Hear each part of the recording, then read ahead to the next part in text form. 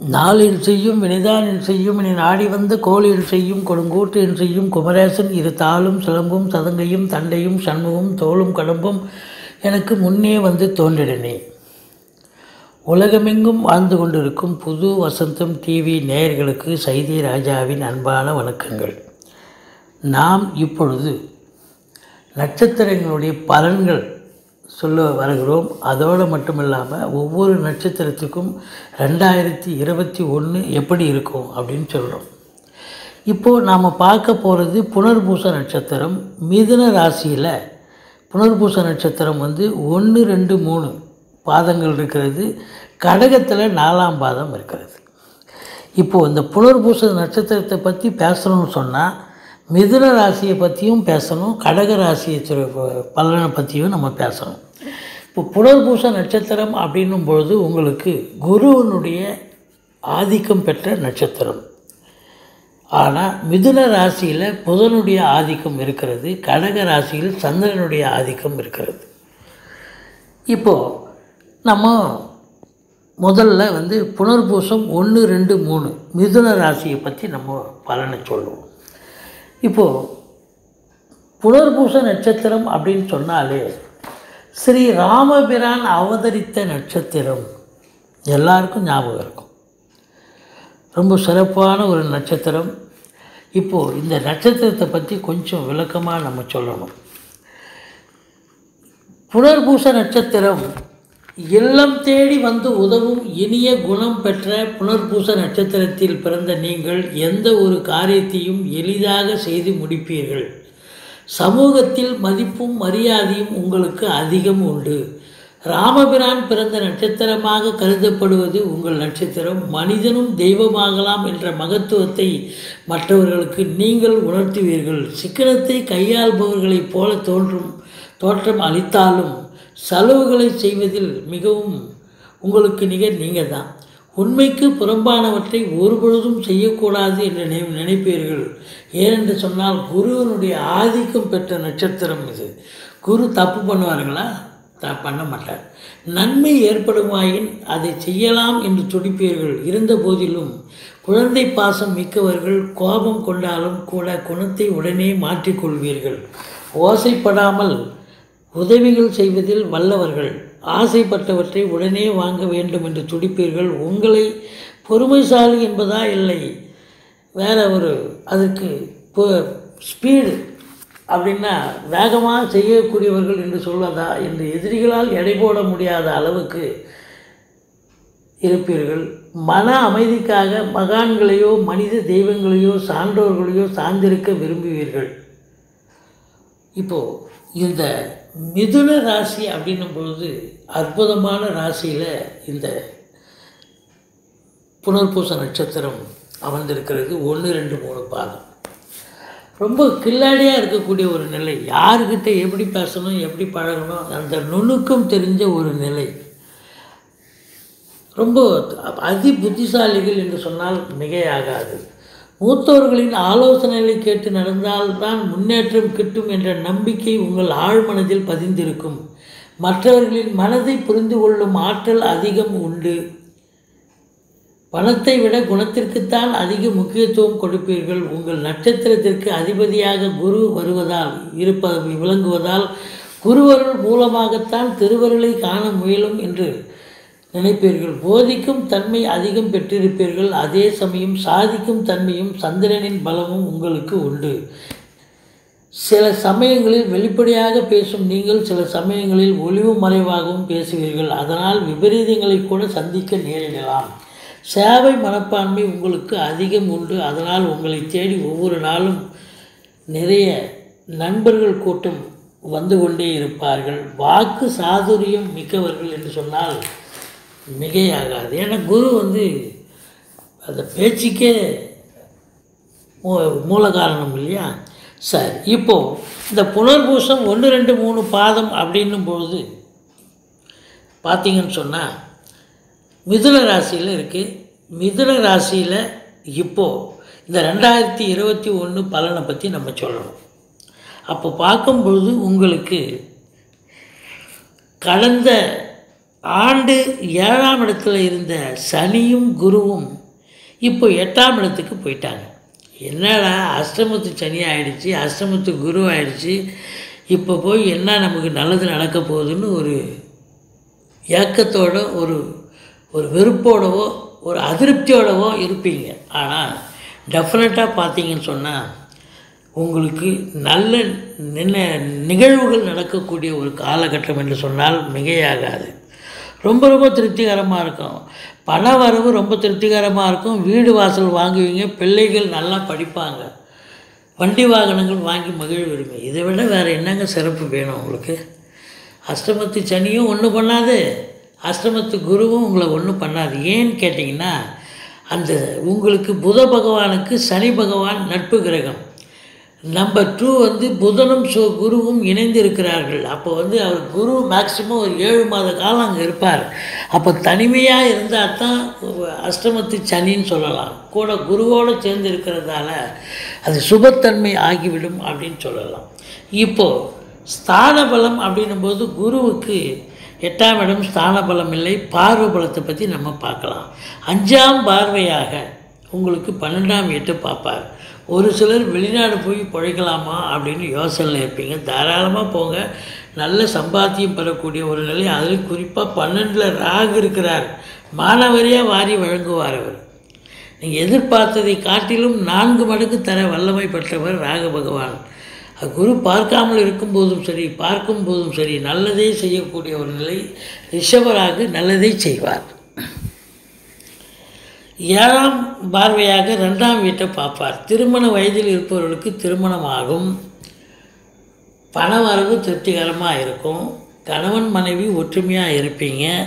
இது வரைக்கும் ஒற்றுமை குற குலைந்து இருந்திருக்க இருந்தாலும் இப்போ பரஸ்பர ஒற்றுமை இருக்கக்கூடிய ஒரு நிலை.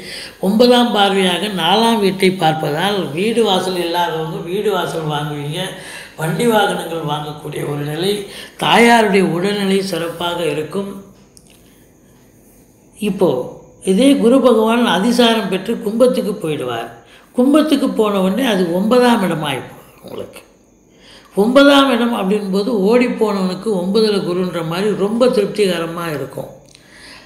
அப்போது கும்பத்தில் இருக்கும் குரு பகவான் நல்லதையே செய்வார்.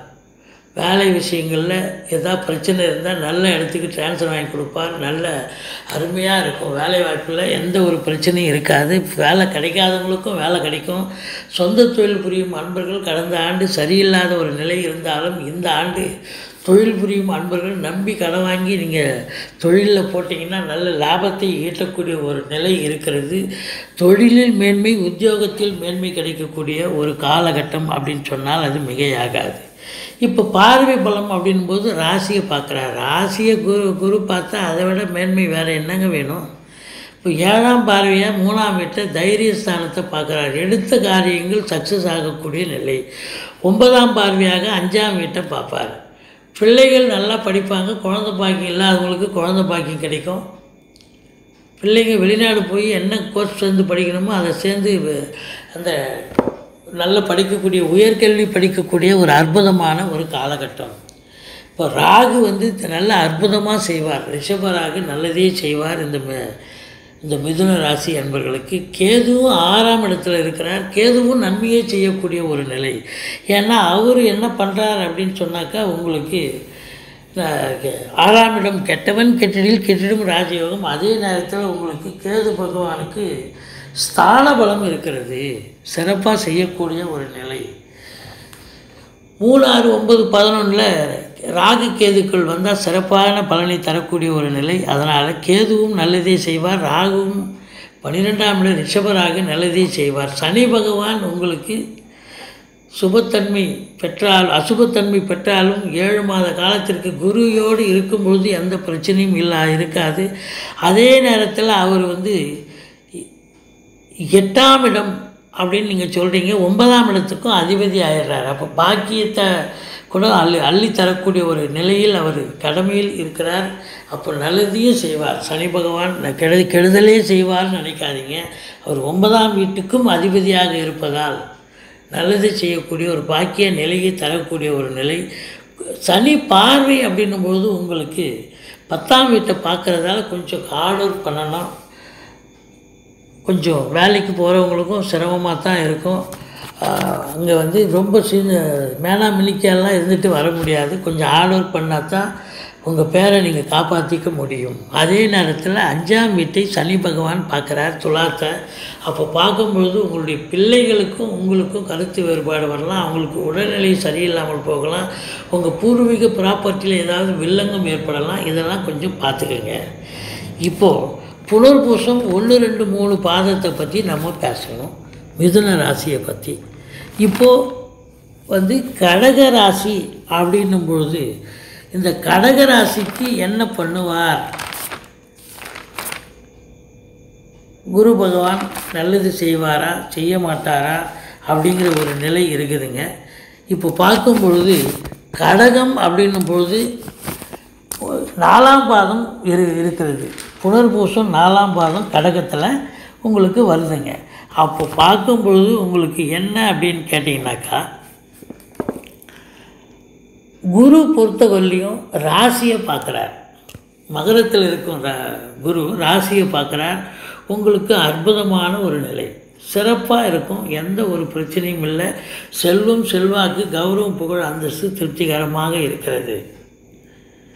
அதோடு பார்த்தீங்கன்னா உங்கள் பதினோராம் வீட்டை பார்க்குறாரு பண வருவாய் அள்ளி கொடுப்பார். மூட்டை கணக்கில் எடுத்து தூக்கிட்டு வரலாம். அந்த அளவுக்கு அதுவும் பதினோராம் இடம். இது இந்த இம்போர்ட்டிங் எக்ஸ்போர்ட்டிங் பிஸ்னஸ் பண்ணுறவங்களா இருந்தீங்கனாக்கா இது கம்பெனி சொந்தமாக கம்பெனி வச்சு பண்ணுறவங்க இந்த பார்த்தீங்கன்னா அந்த நிறைய கூட்ஸ் ஐட்டங்கள்லாம் விற்பாங்க இல்லையா? அதாவது கம்ப இந்த கம்ப்யூட்டர் கம்ப்யூட்டருக்கு தேவையான சாமான்கள் எலக்ட்ரிக்கல் கூட்ஸ் எலக்ட்ரானிக் கூட்ஸ் இதெல்லாம் பற்றி நம்ம சொல்கிறோம் இந்த கம்பெனிஸ்லாம் வச்சு நடத்துகிறவங்க ஆயிரக்கணக்கான கம்பெனிகள் இருக்குது சின்ன சின்ன கம்பெனிலேருந்து பெரிய கம்பெனி வரைக்கும். அப்போ பார்க்கும்பொழுது அவங்களுக்கெல்லாம் வந்து அள்ளி கொடுக்கக்கூடிய ஒரு நிலை இம்போர்ட்டிங் எக்ஸ்போர்ட்டிங் பிஸ்னஸ் பண்ணுறவங்களுக்கு இன்னும் கூடுதலான ஒரு லாபத்தை எதிர்பார்க்கலாம். இரண்டாவது திருமணத்திற்காக காத்திருக்கும் அன்பர்களுக்கு இரண்டாவது திருமணத்திற்கான பேச்சுவார்த்தை நடத்துவார்கள். வீட்டில் சுபத்தன்மை ஏற்படும். மூத்த சகோதரத்தால் ஆதாயம் உண்டு. மூணாம் வீட்டை பார்க்குறார். ஒன்பதாம் பார்வையாக ரொம்ப அற்புதமான ஒரு நிலை. எடுத்த காரியங்கள் சக்ஸஸ் ஆகக்கூடிய ஒரு நிலை. இப்போ பார்த்தீங்கன்னு சொன்னால் இவங்களுக்கு கடக ராசிக்கு ஸ்தான பலம் இதுக்கு வந்து குரு பகவான் ஏழாம் வீட்டில் இருக்கிறார். மூணு அஞ்சு ஏழு ஒன்பதில் குரு பகவான் இருக்கும்போது நல்ல ஸ்தான பலம் இருக்கிறது. அப்போ கடகராசியில் இருக்கும் புனர்பூச நட்சத்திரம் நாலாம் பாதத்தில் பிறந்த அன்பர்களுக்கு ரொம்ப அற்புதமாக இருக்கும் அப்படின்னு நம்ம சொல்கிறோம் இப்போது உங்களுக்கு கணவன் மனைவி கூட சண்டை சச்சரவு இருந்திருக்கும் இப்போது அவங்க வந்து ஓரளவுக்கு ஒத்துமையாக இருக்கக்கூடிய ஒரு சூழல். குரு அதிசாரம் பெற்று உங்களுக்கு கும்பத்துக்கு போயிடுவார். அப்போ பன்னெண்டாம் வீட்டை பார்ப்பார். ரெண்டாம் பன்னெண்டாம் வீட்டை பார்த்து உங்களுக்கு வெளிநாடு சென்று சம்பாத்தியம் செய்யக்கூடியவர்களுக்கு இது வெளிநாடு சென்று போய் சம்பாதிக்கலாம். அதுக்கப்புறம் பார்த்தீங்கன்னா உங்களுக்கு ரெண்டாம் வீட்டை பார்க்குறார். ரெண்டு தனஸ்தானம் குடும்பஸ்தானம் குடும்ப மேன்மை தன வருவாய் இப்போ உங்களுக்கு பொருள் வருவாய் இருக்கிறது. திருமணம் ஆ- வயதில் இருப்பவர்களுக்கு திருமணம் ஆகக்கூடிய ஒரு காலகட்டம் என்று சொல்லலாம். அதோடு பார்த்தீங்கன்னா நாலாம் வீட்டை பார்த்து உங்களுக்கு வீடு வாசல் இல்லாதவங்களுக்கு வீடு வாசல் வாங்கக்கூடிய ஒரு சூழல் ரொம்ப திருப்திகரமாக இருக்குது வண்டி வாகனங்கள் ஒரு சிலர் வாங்கி மகிழ்வீர்கள். தாயாருடைய உடல்நிலை ரொம்ப சிறப்பாக இருக்கும். அவங்களுக்கு பயப்பட தேவையில்லை. உடல் ஆரோக்கியமாக இருப்பார்கள் அப்படின்னு சொல்லலாம். இப்போ பார்த்தீங்கன்னு சொன்னாக்கா இந்த ராசி அப்படின்னும் பொழுது உங்களுக்கு ராசிக்கு நாலாம் வீட்டை பார்க்குறதால ரொம்ப சிறப்புங்க. உங்களுக்கு சுகஸ்தானம் திருப்திகரமாக இருக்குது சொஃபஸ்டிகேட்டடாக வாழ்க்கையில் வீடு வாசல் ப காரு பங்களா இது தானேங்க முக்கியம். இது இருந்தாலே போதுங்க. எல்லாமே சிறப்பாக அமைஞ்சிடும். ரொம்ப திருப்திகரமாக இருக்கிறது எந்த ஒரு பிரச்சனையும் இல்லை. அப்போ பார்க்கும் பொழுது இந்த புனர்பூச நட்சத்திரத்திற்கு மிதுன ராசியில் புனர்பூசம் ஒன்று ரெண்டு மூணு பாதங்கள் உள்ளவர்கள் மிதுன ராசியில் இருப்பவர்கள். மிதுன ராசி அப்படின்னும் போது அது நாலாம் பாதம் புனர்பூசம் நாலாம் பாதம் கடக ராசியில் இருக்குதுங்க. ஸோ இந்த ரெண்டு ராசியை பற்றியும் நம்ம விழாவாரியாக பேசிட்டோம். இப்போ குருவை பற்றி நம்ம பேசியிருக்கிறோம். அடுத்தது சனி பகவான் அப்படின்னும்போது ராசிக்கு ஏழாம் இடத்துல சனி இருப்பார். ஒன்றும் எந்த ஒரு பிரச்சனையும் இல்லை. சனி பார்வை அப்படின்னும்போது நாலாம் வீட்டை பார்ப்பார். வண்டி வாகனங்கள் செலவு வைக்கும். உங்களுக்கு எட்டாம் அதாவது ஒன்பதாம் வீட்டை பார்க்குறார். அப்போ பாக்கிய குறைவு ஏற்படுகிறது. தந்தை தந்தை வழி சொந்தங்களால் பகைமை பாராட்டப்படுவீர்கள் அப்படின்னு நம்ம சொல்கிறாங்க அடுத்தது உங்களுக்கு இந்த சனி பகவான் பார்த்தோம். இப்போது ராகு பற்றி நம்ம ஏற்கனவே சொல்லிட்டோம்.